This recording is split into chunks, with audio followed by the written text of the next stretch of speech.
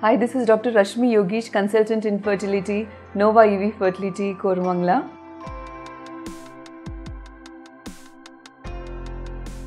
Intrauterine insemination has got a success rate of not more than 15% per cycle, and so one should not lose hopes if the first cycle has not worked.